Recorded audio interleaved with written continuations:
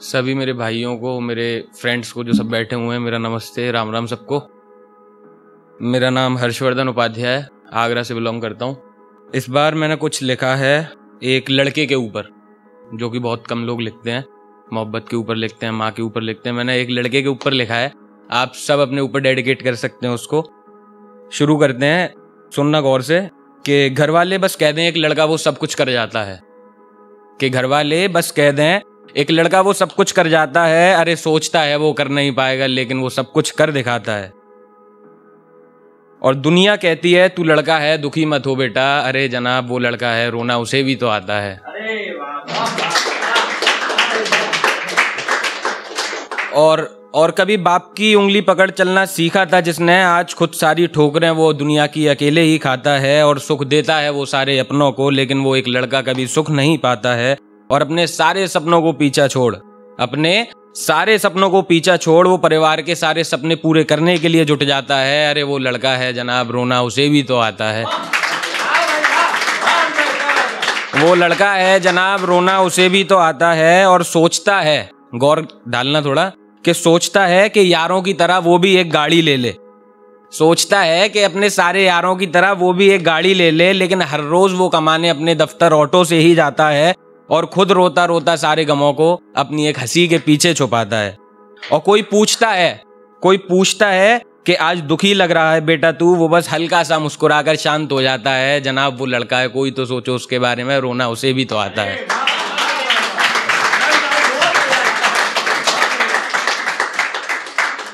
और थोड़ा गौर डालना, कभी जो माँ के उठाने पे उठ जाता था, जो कभी माँ के उठाने पे उठ जाता था आज वो खुद समय पे उठ के काम पे जाता है और जो कभी माँ के हाथ से खाना खाया करता था, आज वो खुद अपने हाथ से रोटी बनाता है, जो कभी माँ के चिल्लाने पे रोज आया करता था, आज वो मालिक की गालियाँ सुन घर वापस लौट आता है। कोई तो सोचो उसके बारे में, जनाब रोना उसे भी तो आता है।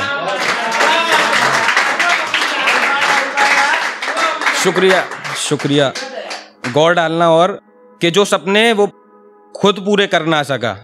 जो सपने वो खुद पूरे ना कर सका, वो आज अपने माँ बाप के हर सपने को सच कर दिखाता है, जो लड़का कभी कुछ बोल ना पाता था। गौर डालना कि जो लड़का कभी कुछ बोल ना पाता था, वो अपने दिल के हर अल्फाज, कविता बना, आज सारे जग को सुनाता है और सोचता था एक दिन आएगा उसका। सोचता था एक दिन आएगा उसका, आज वो देखो लड़का टीआरडी पे आता है। हाँ यारो, वो लड़का मैं ही हूँ, रोना मुझे भी तो आता है।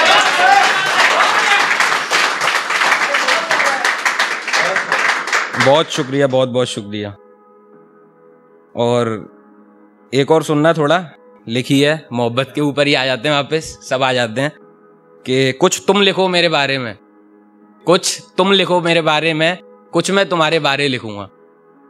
कुछ तुम लिखो मेरे बारे में, कुछ मैं तुम्हारे बारे लिखूँगा। तुम लिखना मेरी बुराइयाँ सिर्फ़ मैं तुम्हारी अच्छा ही लिखूँगा।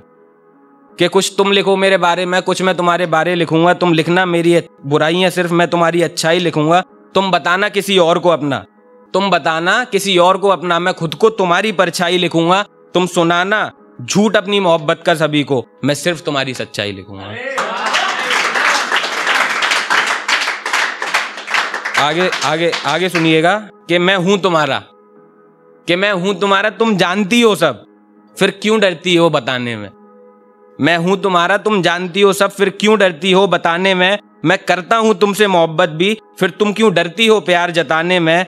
मैंने तुम्हें अपना कब का बना लिया? तुम क्यों घबराती हो मुझे अपना बनाने में? अरे मैंने तो दुनिया को भी दिखा दिया यार, तुम ही मुकर जाती हो वादे निभाने में। और एक आखिरी पढ़ूँगा, बहन के लिए। आगरा रहती है, शादी हो चुकी है, जा नहीं पाता उससे मिलने। कभी कभार गुस्सा भी हो जाती है। और हो ही गई थी बीच में, तभी लिखी थी कि एक प्यारी सी बहन है मेरी, जो मेरे लिए बहुत खास है। एक प्यारी सी बहन है मेरी, जो मेरे लिए बहुत खास है, वो दूर तो है मुझसे, लेकिन मेरे दिल के वो बहुत पास है। और मिल नहीं पाते हम, मिल नहीं पाते हम ज़्यादा, क्योंकि अब वो शहर अपना दूसरा रखती है, और मारती है मुझे बहुत, मगर अपनी गलतियों पे मुझसे डरा भी करती है। और ए मेरी बहन, तू मुझसे ऐसी छोटी बातों पे यूँ रूठा ना कर, वादा कर तू मुझसे हमेशा, लेकिन कोई वादा मुझसे तू झूठा ना कर मैं तुझसे हमेशा यूँ ही ऐसे ही प्यार करता रहूँगा, हमेशा तेरा हर हाल में साथ निभाता रहूँगा। तू मेरी बहन है, कभी मुझे खोना मत। और तेरा भाई हमेशा तेरे साथ है, बस तू कभी रोना मत। बहुत बहुत धन्यवाद।